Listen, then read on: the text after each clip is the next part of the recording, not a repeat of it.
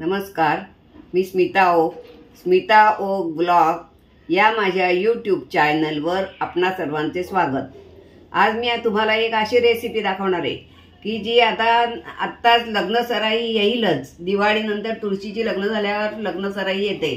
त्यामुळे लग्नामध्ये हे रुखवतामध्ये हे पदार्थ ठेवायला लागतात. तर ते आज मी तुम्हाला गवले नखोल्या बोटवे आणि मालत्या हे जे प्रकार आहेत ते मी आज तुम्हाला करायला दाखवणार आहे. कारण हल्लीच्या नवीन पिढीला ह्याची माहितीसुद्धा कदाचित नसेल. आणि हल्ली शेवया बाजारात सर्रास मिळतात. पटकन शेवयांचं पाकिट आणायचं खीर करून टाकायची. असं होतं. त्याच्यामुळे गवले वगैरे हे को सहसा हल्ली कोणाला माहीत नसतं. म्हणून मी तो तुम्हाला रेसिपी दाखवते. आता मी इथे एक कप हा बारीक रवा घेतलेला आहे. आणि जर तुमच्याकडे बारीक रवा नसेल आणि जाडा असेल तरी काही हरकत नाही. पण तो जरा मिक्सरमधनं फिरवून घ्या.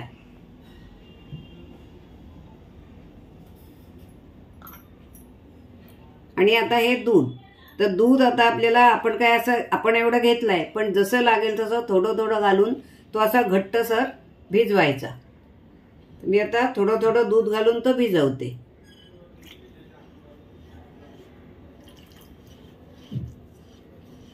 हे आता मी दूध घालून भिजवते पण काही जण याच्यामध्ये मीठ पण घालतात. पण मी काही मीठ घालणार नाही आहे कारण खीर ही आपण नेहमी दुधात करतो. त्याच्यामुळे मीठ घालून चालत नाही. म्हणून मी मीठ काही घातलं नाही. असा भिजवून घ्यायचा. आणि एक अर्धा तास किंवा पंधरा वीस मिनटं असा याला नंतर झाकून ठेवायचा असतो.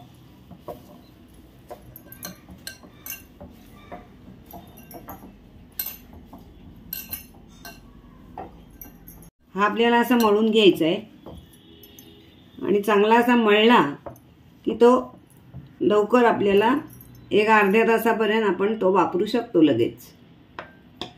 म्हणजे तो मिळून येतो चांगला.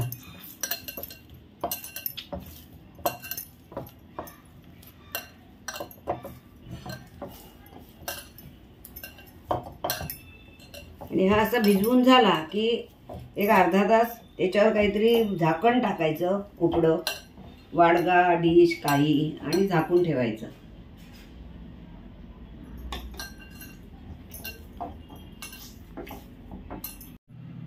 हे अशा पद्धतीने भिजवायचं. आणि मी जे दूध घेतलं होतं हा पाऊण कपाचं हे आहे. पाऊण कप घेतलं होतं त्यातलं आपण अर्ध जवळजवळ आपल्याला लागलंय. आणि ह्या टाईपने हे असं असं भिजवून ठेवायचं. असं. आणि एक वीस पंचवीस मिनटं अर्धा तास असं झाकून ठेवायचं आता.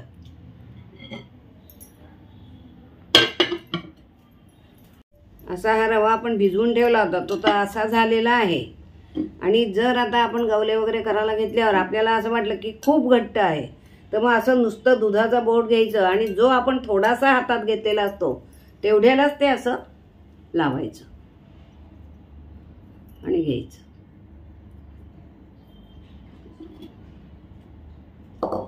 आता म्हणा थोडासा काढून घेतलाय आता हे झाकून ठेवूया आपण. वारळाला नको म्हणजे. आता मी तुम्हाला गवले कसे करायचे ते दाखवते. असं थोडंसं पीठ घ्यायचं. आणि हातावर असं मळून चांगलं घ्यायचं. आणि मग असं करायचं.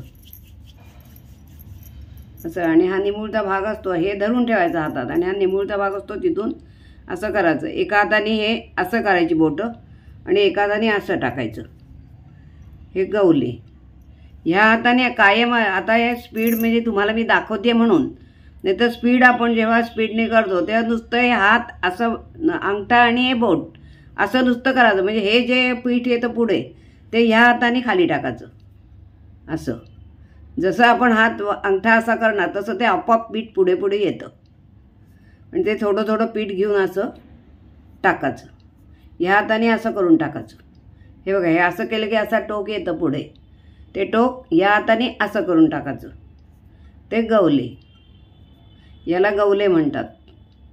आणि हे शुभ कार्यासाठी या गवल्याची खीर खूपच आवश्यक असते. आता क सत्यनारायणाची पूजा असू दे मंगळागौर असू दे त्याला गवल्याची खीर आता पुरण आणि वरण. आता असं म्हणतात झाल्या केलेला पूर्णावरणाचा स्वयंपाक. असं म्हणता म्हणण्याची पद्धत आहे. पूर्णावरणा खिरी पूर्णावरणाचा स्वयंपाक. खिरी म्हणजे मग ती खीर पण पण ती खीर खूप करायची नसते. कारण आपलं पक्वान नसतं तर वेगळं. तर ती खीर नैवेद्यासाठी थोडीशी करायची आणि मग ती पहिल्यांदा जेव्हा आपण पंगत वाढतो तेव्हा ती थोडी थोडी एवढीच खीर अगदी पानाला ती प्रत्येकाच्या लावायची असते. त्यामुळे ही शुभ मानली जाते खूप. त्यामुळे प्रत्येक असं देवाच्या ह्याच्यासाठी खीर ही लागतेच. त्यामुळे ह्या गवल्याला खूप महत्त्व आहे. हे गवले कसे करायचे ते मी तुम्हाला दाखवलं. आता हे बाकीच्या पिठाचे गवले मी करते.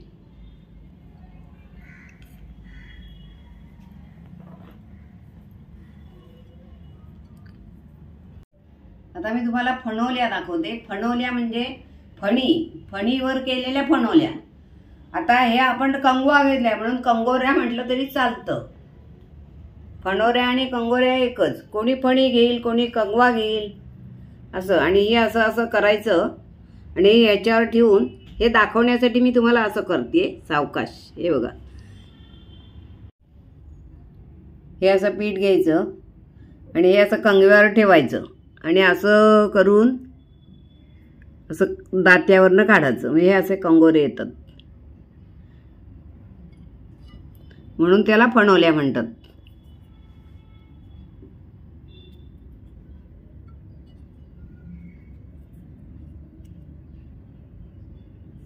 हे असं पीठ घ्यायचं आणि असं कंगव्यावर ठेवायचं आणि अलगद फिरवायचं. जोरात दाबून फिरवायचं नाही नाही तर मग ते कंगव्यालाच पीठ चिकटून जातं.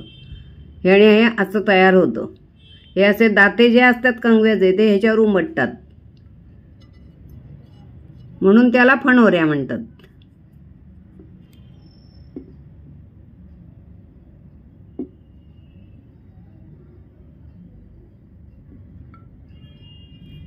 असं सगळ्या पिठाचं हे करून घ्यायचं.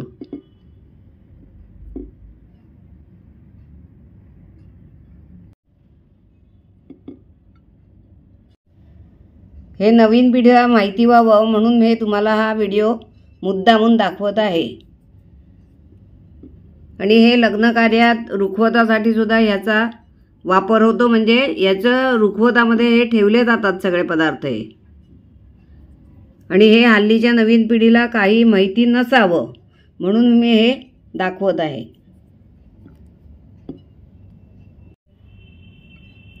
हे अशा पद्धतीने हे करायचं. याचीसुद्धा खीरच केली जाते. मैदा म्हणजे हे सगळं जे आपण हा रवा जो घेतला आहे तो सगळ्या या आयटमसाठी एकच आहे पण त्याची प्रत्येकाची खीर होऊ शकते. फक्त नावं वेगळी आहेत त्याची. पीठ एकच. आता अशाच पद्धतीने मी ह्या अशा सगळ्या फणोऱ्या करून घेते. आता आपण मालत्या बनवूया. त्याच्यासाठी हे असंच पीठ घ्यायचं आणि हा अंगठा आहे. इथून आता ह्या दुसऱ्या बोटाने जर कुठल्या तुम्ही केला तर त्याला तसे कंगोरे येत नाहीत. फक्त ह्या अंगठ्याच्या इथूनच येतात. त्यामुळे आता असं करायचं. हे बघा हे असे वळे वळे पडतात त्याला. हे असं ठेवायचं आणि असा तिरका तिरका आपला अंगठा न्यायचा.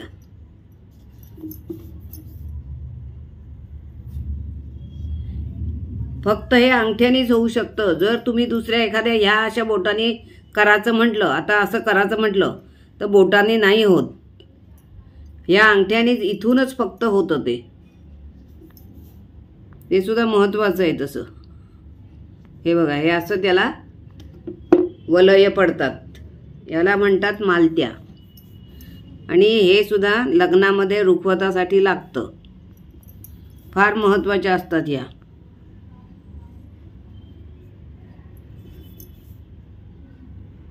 असं. अंगठा फक्त फिरवाचा त्याच्यावर बाकी काही करायचं नाही असं. तिरका तिरका न्यायचा म्हणजे हे असे तिरके वलय पडतात त्याला. किती सुंदर दिसतात न. बघायला किती छान वाटतं. ह्याला खर्च पण जास्त येत नाही फक्त आपण र- र- रवा भिजवून घेतला आहे दुधामध्ये. बाकी काही नाही फक्त ही कला करण्याची आहे. ती शिकायला पाहिजे. आता मी तुम्हाला लवंगांचा प्रकार दाखवते. लवंगा. काय करायचं? असं पीठ घ्यायचं. ते असं हे करायचं. दाबाचं. आणि असे त्याचं पारीसारखं करायचं. हे असं केलं. असं. की त्याची अशी घडी घालायची. जशी आपण पोळी घडीची करतो तेव्हा घालतो तशी आणि परत अशी. आणि हा बंद भाग आहे हा. इथे पकडायचं डेखासाठी. आणि हा जे येतं त्याचं असं चारी बाजूनी थोडं थोडं दाबून घ्यायचं. ही झाली ल परत आता एकदा मी दाखवते तुम्हाला. ही अशी गोळी घ्यायची पिठाची आणि अशी ही चपटी करायची पारीसारखी पारी आपण करतो तशी. अशी. आणि मग त्याची अशी घडी घालायची. एकदा अशी डबल घालायची अशी. आणि एकदा परत अशी. म्हणजे आपण घडीची पोळी करताना कशी घालतो? तीच पद्धत. तशी घडी घालायची आणि हे खाली डेखासारखं असं धरायचं आणि हे चारी बाजूनी असं पीठ हे करायचं असं. म्हणजे त्याला लवंगेचा आकार येतो. हे बघा. लवंग. अशा पद्धतीत अशा मी बाकीच्या लवंगा आता बाकीच्या पिठाच्या करून घेते. आता आपण बोटवे करूया. बोटव्याचा आणि गवल्याचा असा फरक आहे की गवल्या अतिशय पातळ असतात. एकदम पातळ. आणि हे थोडे बोटवे म्हणजे हे बोटानी असे असे करायचे. हे थोडे जाडे असतात. असे. गवले एकदम बारीक असतात आणि हे जरा असे जाडे असतात तांदूळासारखे. म्हणून याला बोटवे म्हणतात. हे पण असंच. अंगठ्याची ठेवण ही अशीच. असं करायचं. या हाताने असं टाकायचं. या हाताने हे केलं की थोडं पीठ हे पुढे येतं. बोटवे म्हणजे हे थोडे जाड असतात. हे बघा हे असे जाड असतात जवळजवळ तांदूळासारखे. आणि जे आपण गवले मगाशी केले ते एकदम बारीक आणि पातळ असतात. त्यामुळे त्या बोटवे आणि प- गवल्यामधला हा फरक आहे. गवले अगदी बारीक आणि हे थोडे असे तांदूळ टाईप असतात. फक्त हे असं पीठ घ्यायचं आणि असं करून टाकायचं. ह्याची सुद्धा खीरच करतात. खिरीचे अनेक प्रकार आहेत हे खीर बनवण्याचे. याची सुद्धा खीर होऊ शकते.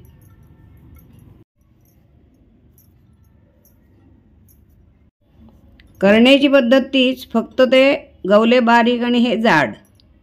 हे बघा याचे तांदुळाचे तांदूळाचे टाईप होतात. दिसाला जाड दिसतात ते.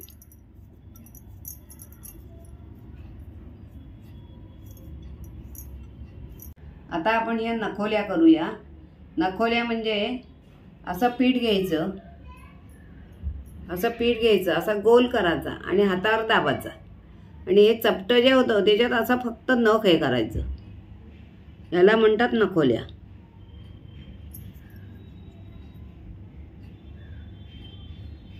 असं.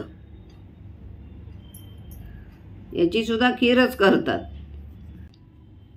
फक्त आकार त्याचा वेगळा करण्याची पद्धत वेगळी.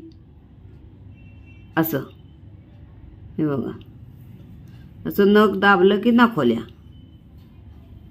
आधी असं चपटं करायचं. आणि मग त्याच्यात नख रोवायचं असं. त्याला म्हणतात नखोल्या. अशाच पद्धतीने मी बाकीच्या नखोल्या सगळ्या करून घेते. मी आत्ता जे प्रकार तुम्हाला करून दाखवले हे रुखवतासाठी चालतात आणि आता हे तुम्ही घरी करून बघाल अशी मी अपेक्षा करते. नक्की करून बघा. या मालत्या याचा आकार असा असतो एकदम सुरेख नागमोडी सुंदर. हे बोटवे हे थोडे जाड असतात तांदूळ टाईप याला बोटवे म्हणतात. या लवंगा. हे लवंगेचा आकार असतो ह्याला. हे लवंगेसारखं दिसतं. म्हणून हे लवंग.